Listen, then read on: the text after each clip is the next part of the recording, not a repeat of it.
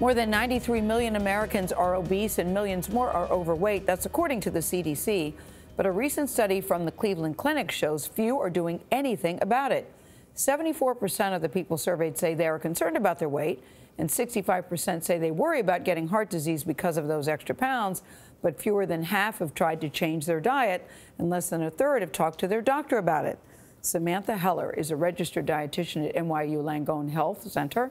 She's here with scientifically proven ways to lose weight. Good morning to you, Samantha. Good morning. So the study shows that people worry about being overweight, but they're not doing enough about it. Why? Well, I, I, think there's many reasons. One reason is I think sometimes we don't know that we're overweight or obese. We think of Do being. we not have a mirror? How would you not know that you're uh, overweight? Or I think we think you need to be hundreds of pounds overweight for that to fit into that category, but in fact, it's not at all. Mm. And if you look at a BMI, a body mass index chart, and you look at your height and your weight, you might be surprised what category you fit into. Mm -hmm. So I think that's one thing that people really need to pay attention to. You've got to. so many tips to go through, so let's go through these mm -hmm. quickly. How important is your diet compared to exercise when it comes Good to weight loss? Yeah. Diet is everything everything. Yes. Diet is more, as, as much as I love exercise, and I know you do too, diet is everything. It's not only how much you eat, but it's the quality of the food you eat that's going to make People a difference. People say calories in, calories out. Do you believe that? Yes. I, I, there's truth in that, but I think what you eat makes a difference. As you know, you can lose weight eating cake, mm -hmm. but it's not healthy. So we want to create a, a, a sustainable dietary pattern that we can keep for the rest of our lives that include all the healthy foods to help our bodies keep us healthy and fight disease. You encourage people to look at favorite foods in a new way. Macaroni and cheese staple in everybody's household. What can you do?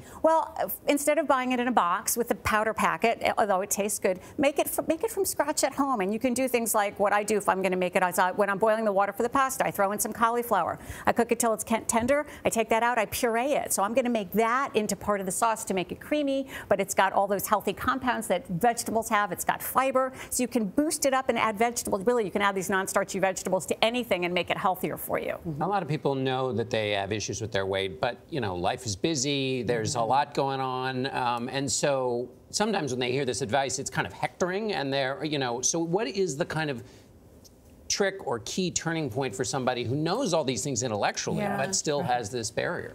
I love the idea of people seeing registered dietitians because he or yes. she can help individualize a plan that's going to work for you. And what you do is going to be different than what Norah does, yeah. right? And different than what I do or what Gayle does. So that's an option. And insurance does cover some of that. But also make a plan. Sit down with your family. Plan what you're going to eat during the week. That's going to help you uh, avoid food waste, save money. It's going to get your kids and your family involved in the shopping and the prep for the food. Have a plan plan. But the insurance piece is important because a lot of people may not have the money for that. But so the dietitian can be covered by insurance? Some dietitian uh, services can be covered by insurance. Uh, excuse me, insurances. Some dietitians might work on a sliding scale for you. So, I mean, it's a great opportunity. There's classes. But it's so important to make the point that one size does not fit all. I think people right. think if she's doing well or he's doing well, I need to do that. Right. And you, I do think you have to stress that you've got to figure out what works for you. What works for you? Because as I said, what I do for me is going to be different yeah, than what's going yeah, going to I work agree. for you. It has to take into account your budget, your food preferences, your lifestyle. A lot of questions I get. Intermittent fasting. Does it work? We're already intermittent fasting when we sleep. Yep. Most of us don't eat during the night, so that's great. There's no one kind of intermittent fasting. There's many different iterations. I like the idea perhaps of closing the kitchen after dinner uh, and some people say they only eat between certain hours. So after dinner, when you've had dinner, a lot of people sit in front of the TV or the computer and they eat their chips and Jennifer their ice cream Lopez is recommending the no carb, no sweet diet for 10 days. And I'm actually thinking about doing that. Okay.